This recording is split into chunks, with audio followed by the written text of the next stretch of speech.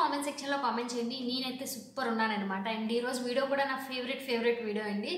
So ఇప్పటి వరకు నేను చాలా వరకు డాండ్రఫ్ కోసం అండ్ హెయిర్ ఫాల్ కోసం ప్యాక్స్ అనేది వాటర్ అనేది చాలా చేశాను. బట్ ఈరోజు వీడియో మాత్రం హెయిర్ గ్రోత్ కోసం అండి హెయిర్ గ్రోత్ కోసం ఒక మంచి హెయిర్ ప్యాక్ అనేది ఈరోజు వీడియోలో మీతో షేర్ చేస్తున్నాను. సో ఆ ప్యాక్ ఏంటో షేర్ చేసే ముందు ముందుకుంటే నా ఛానల్ ఎవరైనా సబ్స్క్రైబ్ చేసుకోలేని వాళ్ళు చూస్తున్నట్టయితే ప్లీజ్ సబ్స్క్రైబ్ చేసుకోండి. కింద నా రెడ్ కలర్లో సబ్స్క్రైబ్ అని కనిపిస్తుంది. అది క్లిక్ చేశారంటే గంట సింబల్ వస్తుంది. అది క్లిక్ చేశారంటే నేను ఏ వీడియో పెట్టినా వెంటనే మీ వరకు నోటిఫికేషన్ అనేది వస్తుంది. సో ఇప్పుడు ప్యాక్ గురించి చెప్తాను. ఇది ఏంటంటే అండి రెండే రెండు ఇంగ్రీడియంట్స్ అనేవి వేస్తాము.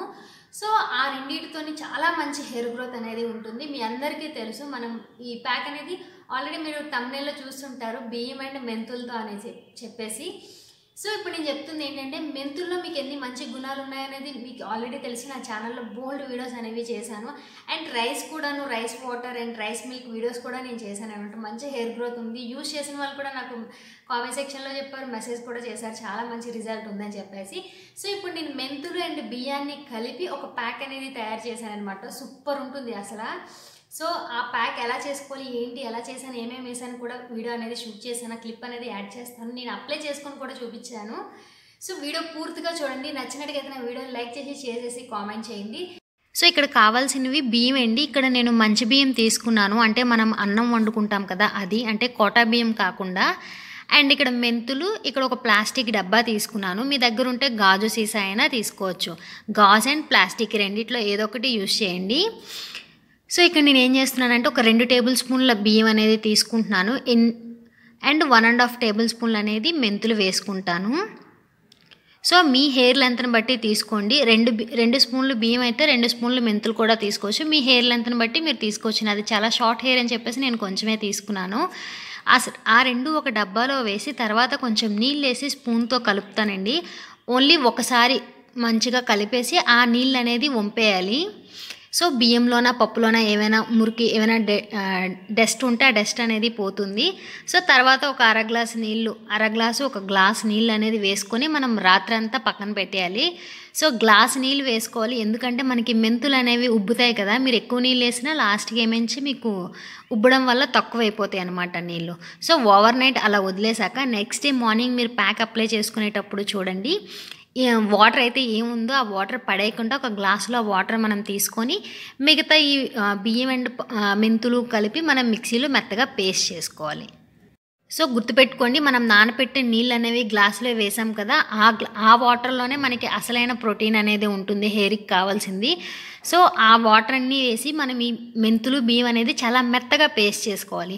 సో మెత్తగా పేస్ట్ చేసుకున్నాం అనుకోండి అప్లై చేసుకునేటప్పుడు మీకు ఈజీగా ఉంటుంది అండ్ స్నానం చేసేటప్పుడు కూడా మీకు ఈజీగా ఉంటుంది. సో ఈ వాటర్ వేసి నాకు తెలిసి వేసిన వాటర్ అంతా కూడా సరిపోతుంది. కొంచెం జారుగానే చేసుకోండి. ఎందుకంటే మెంతులు అనేది మనకి టైం పడుతుంది కొద్దీ కొంచెం టైట్ అవుతుంది అనమాట సో చూసారు కదా ఇక్కడ నేను దోశల పిండిలా రుబ్బుకున్నాను అనమాట సో ఇప్పుడు ఇది నేను ఒక కటోరలోకి వేసుకొని ఇందులో నేను క్యాస్టర్ ఆయిల్ అనేది యాడ్ చేసుకుంటున్నాను. సో చూసారు కదా ఆమదం ఆయిల్ అనేది యూజ్ చేస్తున్నాను. సో ఎందుకంటే నేను ఇక్కడ డ్రై హెయిర్తో ఉన్నానని చెప్పేసి ఆయిల్ అప్లై చేసుకుంటున్నాను. సో మీరు తలకి ఆల్రెడీ నూనె పెట్టుకుని ఉన్న తల మీద ప్యాక్ అప్లై చేసుకుంటున్నారు అనుకుంటే ఆయిల్ వేసుకో అవసరం లేదు. లేదు నేను పొడి తలతో ఉన్నాను పెట్టుకోవాలనుకుంటున్నాను ప్యాక్ అనుకుంటే మాత్రం కంపల్సరీగా ఆవదం నూనె అనేది వేసుకోండి. సో ఇది మాత్రం ఆయిల్ రాసుకుంటే వేసుకోక్కర్లేదు రాసుకోకపోతే వేసుకోవాలి గుర్తుపెట్టుకోండి. సో చూసారు కదా ఈ ప్యాక్లోన్ అనేది ఆయిల్ వేసింది బాగా మిక్స్ చేసుకొని తర్వాత హెయిర్కి అనేది ఫుల్గా అప్లై చేసుకోవాలి. ఇక్కడ హెయిర్కి మీరు మొదటి నుంచి చివరి వరకు మొత్తం అప్లై అయ్యేటట్టుగా అప్లై చేసుకోండి. సో ఎక్కువగా నుదుటికి పెట్టేలా చూసుకోండి. ఎందుకంటే మనకి హెయిర్ గ్రోత్ అనేది నుదుటి నుంచే వస్తుంది. ప్లస్ మనకి మెంతులు అనేది చలవ చేస్తుందండి. మన బాడీలో హీట్ ఉన్నా లేకపోతే మనకి తలంతా మండుతున్నట్టుగా తలంతా నొప్పుగా ఉంటుంది కదా. ఆ టైంలో నార్మల్గా మెంతులు మనం తలకు పెట్టుకున్నా మనకి మంచి కూలింగ్ అనేది ఇస్తుంది. అండ్ మీకు తెలిసిందే కదా rice water rice milk and రైస్తో మన హెయిర్ గ్రోత్ అనేది చాలా చాలా ఎక్కువ ఉంటుంది. సో ఒక రీసెర్చ్లో కూడా తెలిసిందంట రైస్ వల్ల మనకి హెయిర్ గ్రోత్ ఎక్కువ హెయిర్ గ్రోత్ ఉంటుందని చెప్పేసి ఎలాంటి వాళ్ళకైనా సో ఈ హెయిర్ అండ్ మెంతులతో మాత్రం మంచి బెనిఫిట్స్ ఉన్న హెయిర్ ప్యాక్ అండి. డెఫినెట్గా మీరు ట్రై చేయండి. నాకు తెలిసి అప్లై చేసుకునేటప్పుడు అప్లై చేసుకునేటప్పుడు పర్లేదు చేసేసుకుంటాం. తర్వాత స్నానం చేసేటప్పుడు తలకి ఆరపెట్టుకునేటప్పుడు కొంచెం ప్రాబ్లం అవుతుంది. ఎందుకంటే ఎంత మనం మెత్తగా మెంతులు పేస్ట్ చేసినా లైట్గా కొంచెం పిప్పు లాంటిది అనేది ఉంటుంది. సో ఏముండదు తలకు స్నానం చేసుకున్నాక మనం తల ఆరేటప్పుడు తల దువ్వుకుంటాం కదా దువ్వెలతో మొత్తం అంతా రాలిపోతుంది అనమాట సో ఈ ప్యాక్ అనేది వారానికి రెండు సార్లు అప్లై చేసుకొని కంటిన్యూస్గా టూ మంత్స్ అనేది అప్లై చేసుకోండి. హెయిర్ గ్రోత్ అనేది మీకే డిఫరెన్స్ అనేది తెలుస్తుంది. సో చాలా మంచి హెయిర్ గ్రోత్ ఉన్న మంచి హెయిర్ ప్యాక్ అండి. సో మీరు ట్రై చేసి మీకు రిజల్ట్ ఎలా ఉంది ఏంటి అనేది కూడా నాకు కామెంట్ సెక్షన్లో కామెంట్ చేయండి. అండ్ నాకు ఆఫ్టర్ వాష్ తర్వాత నా హెయిర్ ఎలా ఉంది ఏంటి అనేది కూడా చూపిస్తాను. సో లాస్ట్ వరకు వీడియోని చూడండి.